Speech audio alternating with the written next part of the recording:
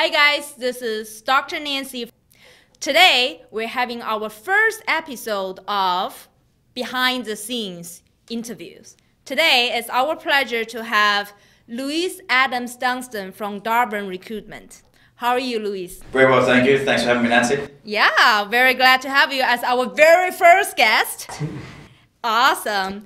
So when I talk about the series as behind the scenes is that lots of candidates today are looking for jobs or on the other side of the table there's lots of experienced candidates lots of recruiters reach out to them mm-hmm. people are quite confused on the other side of the table yep. right what's behind the scenes how does this things operate and how can use have more information helping them to understand the decision making process and eventually improve the chance of being like employed by the right employer. Yep. so therefore today we are very lucky to have lewis in the audience with us today. Okay so lewis can you tell us more about um, darwin recruitment and how are you guys different from other recruiting firms uh, so I'll introduce Darwin Recruitment briefly. Yeah. Um, Darwin Recruitment's been running for almost 19 years now.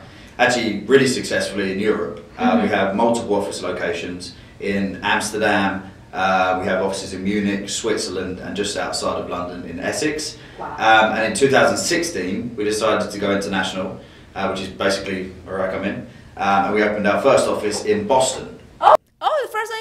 The first one in Boston. Yeah. Oh, lucky. It's right in the WeWork building, right? Building, yeah, in this very building. Right here in downtown Boston, guys. So, um, our, our job really is to help people within the technology sector find new opportunities. Yeah. Um, and then vice versa for the, for the businesses, for the clients who are looking for very niche types of profiles within the space. You know, we go out there and we actually headhunt those specific profiles, whether that be on the, the kind of active or the, uh, the passive markets just depends on the type of skill set that they're looking for. Awesome. Okay, so can you also help me to understand the recruiting process? As you mentioned, you have been in the space for 19 years. So what does it look like to recruit the best candidate behind the scenes, sure. remember? Uh, one thing I will say is I don't think there's any reinventing the process. Um, to be a good recruiter, at the very least, you have mm -hmm. to be mm-hmm. good at the process. Yeah. So it can go two ways really. You know, if someone's looking for an opportunity, what we tend to do is speak to the individual, understand them from a personal perspective, try to understand what their technical skills are. Yeah. Um, firstly, talk about the businesses that they're working with at the moment, and then to think forward and, and think about who else we could then market them to. Mm-hmm. So obviously, if they're working for one business and there's some obvious competitors, naturally there's a very good opportunity for us to reach out to those businesses yeah. and say, hey, look, we've got this person um, this is what they're like from a personal perspective, these are the technical skills, mm-hmm. um, and this is where they're working right now. Normally, that's the, the, the, swiftest and smoothest transition. You can take one person from one job and put them into another.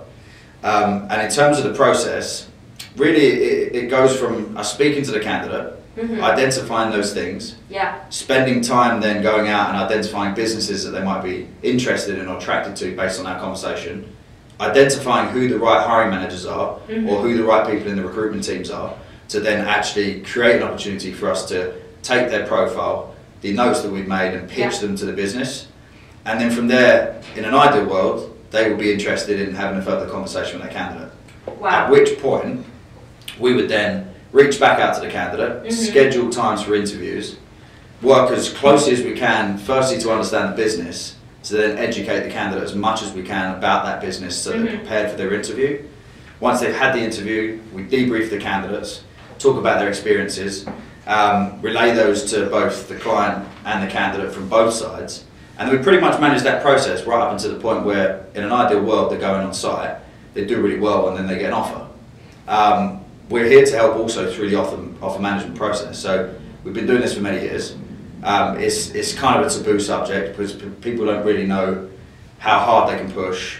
Um, what I am exactly. noticing in the market though is, is the money is often a byproduct of the interview process. So if you present yourself well yeah. and you show that you've got the right skills, it's very rare that you'll find a business will under offer um, or they come in at a ridiculously high value. They're, they're very conscious of the market, they're very aware of, of what, what's right and what suits yeah. different profiles. But we're here to help in the negotiation process.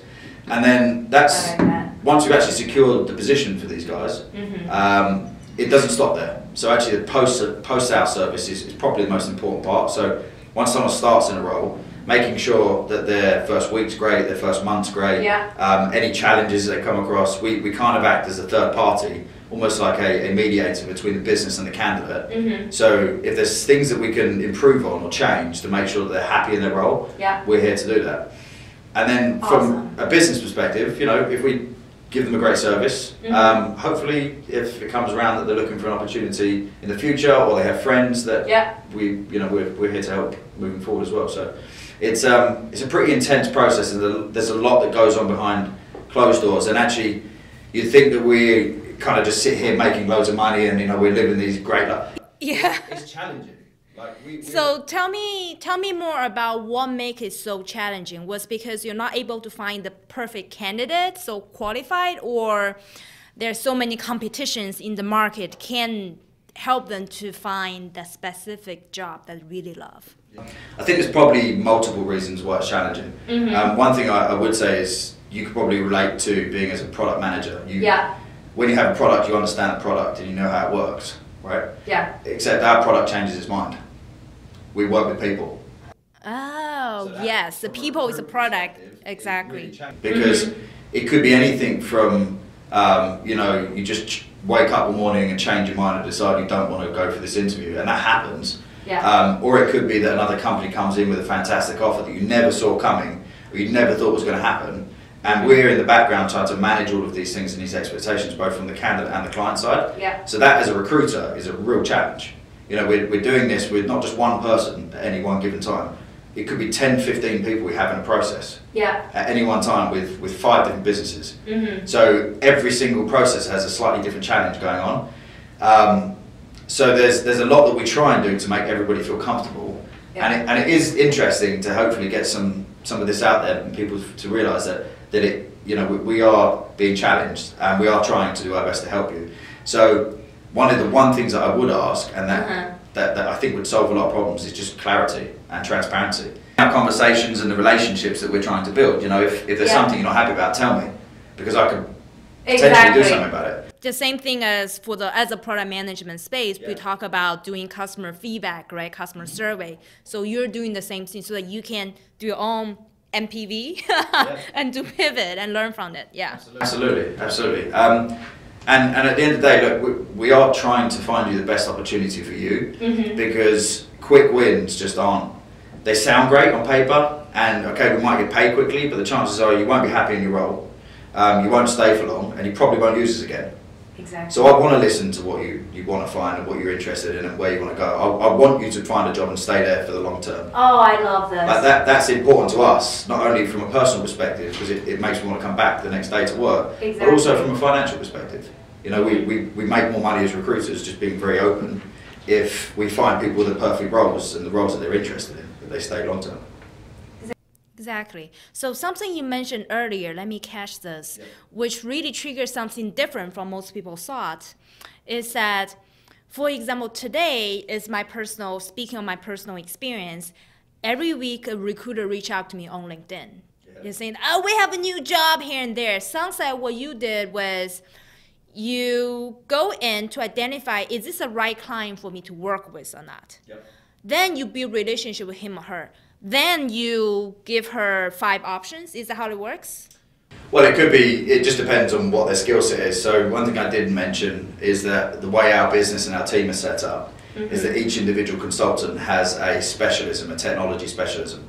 So, in Yeah. my case, ai i assume I look after AI, data science, machine learning. yeah So when I'm contacting certain people, I'm running searches based on their skill set within that technology vertical. yeah Um, so I already know the space in terms of which businesses are looking, mm-hmm. and typically I'll pick a bunch of clients that they might be interested in, and then we talk through them on an individual basis. yeah yeah i love that great so just another tip for people in the in the audience and in front of our videos today is that in general from my personal experience not all the recruiters they were just checking with you all the time from my personal experience let's say 10% of recruiters reach out to me after i said no or i am not interested they stopped Yeah. 10% yeah only 90% stopped and 10% of them like what you mentioned and actually there's another woman say every half a year, whatever, just follow up. Oh, they she like sincerely took the notes of what I said and came back a year later or half a year later when there is a right trigger point for me to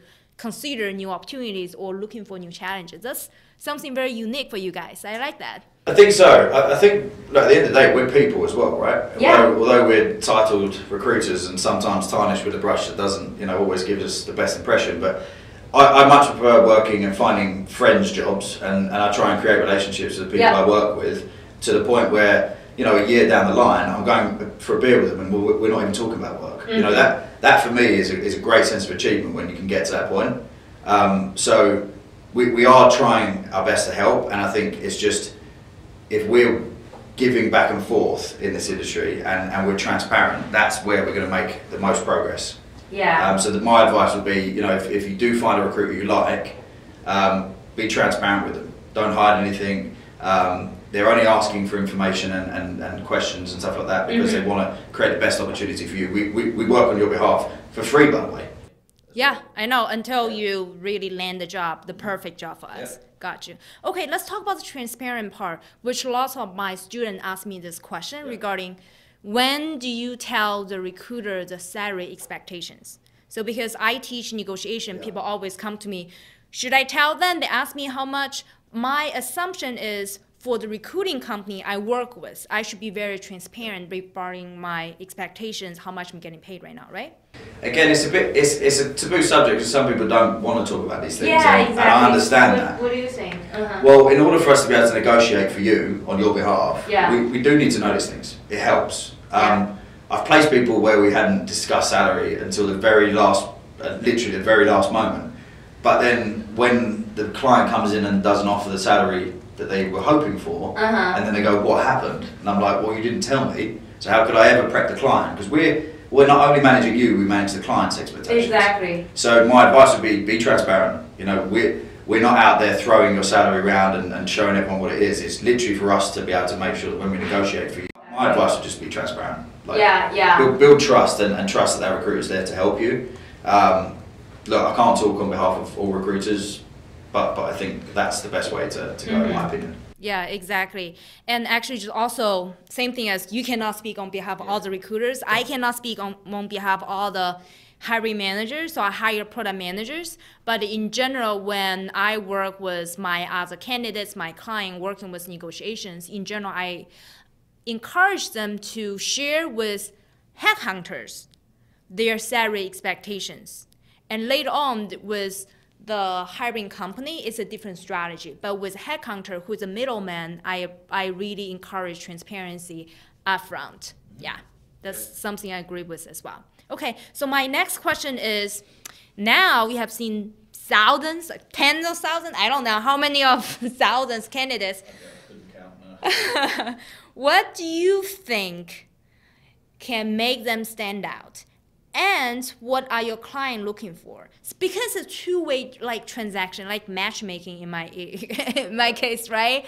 Uh, is that the employers, let's say uh, technology companies, so many of AI companies out there, we have stack of 10 candidates.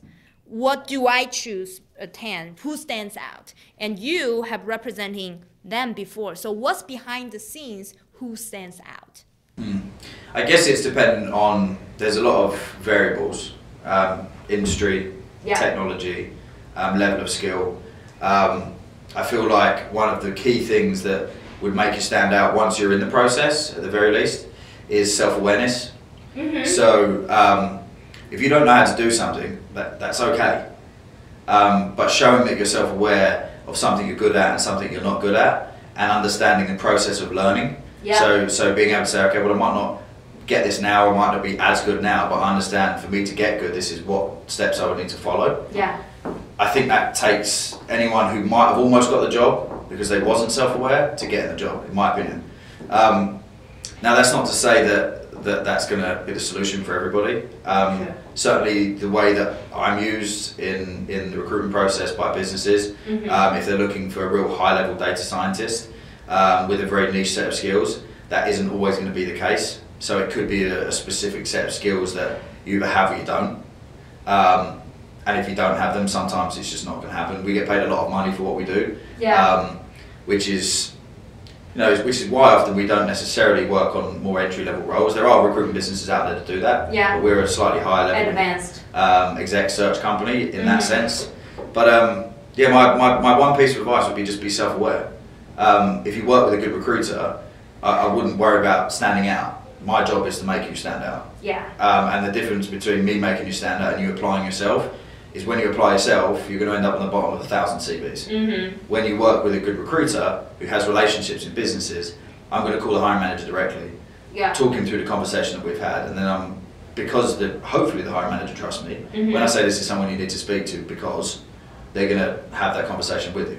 Yeah, exactly. So from the employer's perspective, so I work for one of the top 20, not like the Fortune 20 tech com- I work for the Fortune 20 tech company. I'm also a hiring manager. I hire product managers. So lots of time when we hire candidates, there are several existing relationship like what you described the the recruiting company they will call us ahead of time then we tell them this i'm looking for we try candidate abc didn't work make sure you do this so that you can actually it's a win-win so that we can tell you exactly works what doesn't work so that you can always bring me the best candidate to save time for everybody No, time's money, right? And if, if you're spending time looking through resumes that aren't relevant, um, that's not good for anybody. So, Yeah. as much as we're trying to build a relationship and trust with a candidate, we do the same with the hiring manager. And a smooth process is a happy process um, for, for everybody involved. Yeah, exactly. Very cool. So sounds like if you are senior executive level, you should work with a third party recruiter. Just personal opinion. Not I'm. This is not sponsored video, by the way. yeah. So final question to you, Lewis, is: Do you have any success stories that you can share with us? I mean, there's there's many success stories and there's there's many unsuccessful stories. Um, Yeah. Some are some are quite interesting, some are quite funny. Tell me the exciting, interesting story. I would one more more more one that stands out than anything that I think for a sense of fulfillment in that we found the gentleman the role, um, but also we did way more um, that now has led us to being friends and you know like I said we go out for beers together. So we found a candidate for a client, uh, an e-commerce business that we support in, in, in Boston. Uh-huh. Um, by chance, we came across this gentleman in Australia, um, and I'm not sure if everybody knows, but actually, it's quite an easy transfer from Australia to America. I don't know. Yeah, It's so hard for me to move here. I'm from China, by the way, guys. Different story. It's a very similar process to being in Canada. You know, you, you, you turn up to the embassy with a, a, a job offer, and they go, "Okay, cool, there's 50 bucks," and you're on a, on a plane over to the destination. Um, but there's always way more moving parts when it comes to people that are slightly more experienced or slightly older, whatever it might be. In that you might have children, you might have a family, you might be having other things that, that might create variables in that sense. Um, and this gentleman had a wife and a kid. Um, in order for them to move, we don't just work with the individual we found a job for, by the way. Mhm. You know, um, you have to consider family in this case. She worked in the medical space. Boston, a great place for that. Yeah, Um, yeah, so we reached out to a bunch of different uh, medical organisations, hospitals, um, literally told them the, the, the spiel about, you know, we've got a guy who just found a job. We're not actually looking to place this woman, there's no fee involved. We just Mhm. need to find her an opportunity to come in and interview with you guys. Got you. So you place her without charging a fee at all. No, yeah. so Wow. we, we didn't, charge, we didn't charge a fee. Um, the reason being is, is there really isn't any, you know, there's no upside for us pick, picking up a hospital. We're a tech focused Mhm. recruitment business. We started picking up jobs for nurses and doctors and stuff. There's, we can't fill those roles. Yeah. So it was more a case of, you know, we're supporting this gentleman, um, and this is part of us supporting him. Mhm. Um, we introduced him to a bunch of real estate agents as well, um, who created some opportunities to go and see apartments that were within his budget. Um, and then when we got here, you know, we, we literally showed him around Boston. Um, we had a great experience with him. It's a summer or winter? It was in summer. Right time. Summer. Right timing to show you them. I know. Um, we, we are we are helpful, but not as helpful in winter. no, but um, but no, he's become a good friend of ours now, and um, uh, okay, like we got paid for the process, but it was actually the sense of fulfillment at the end of it, where Yeah. the guy constantly calls us up and, and tells us how much of a great experience he's had and how much he's enjoying his time in Boston, and, and I know that if anyone ever asks him again to potentially look for an opportunity, or if they were looking for an opportunity, I know he's going to reach out to us. So from a long-term business perspective, you know that's that's going to pay dividends. Yeah, I like that. You just move the whole family to Boston. It sounds like a end-to-end process. As when we launch technology product, you don't Yeah. just sell a product. Hope for the best. Yeah. yeah, it's all the best. No tech, uh, no support, nothing. Actually, as just uh, quite relevant to uh, product management, as you mentioned earlier, and like end-to-end support, and also continue to provide value. Sometimes the value is free value, but people just always remember your brand, and they will always come back. I love that.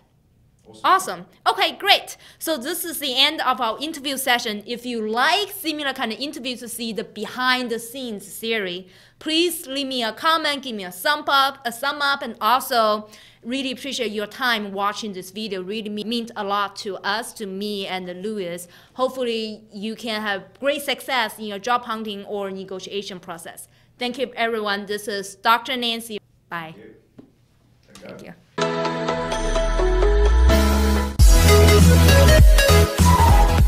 you.